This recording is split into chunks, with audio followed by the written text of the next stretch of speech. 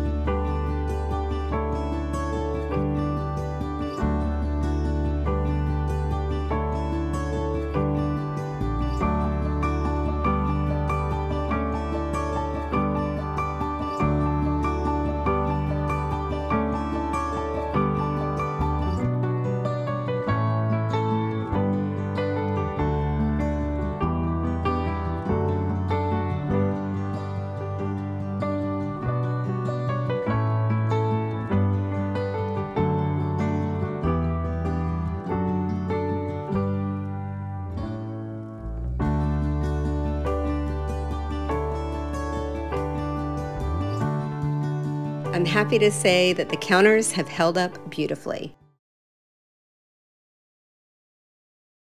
The second project we're revisiting is the board and batten I added in the foyer.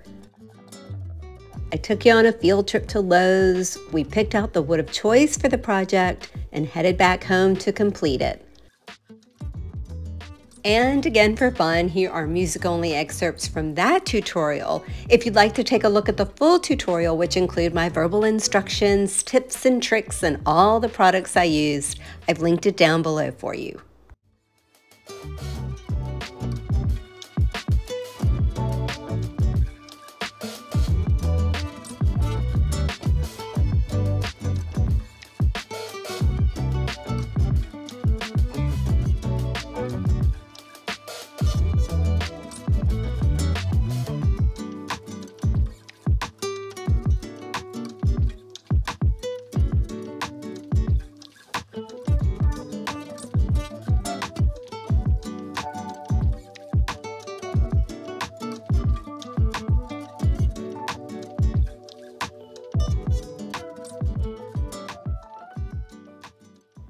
Here's one last look at the before and then the after. Far from perfect, but definitely better.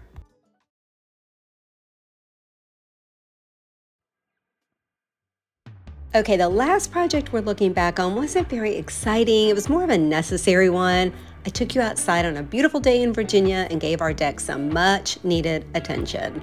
I got out the pressure washer and paintbrush, cleaned off our DIY privacy panel along with the furniture, and then had some fun adding summer touches.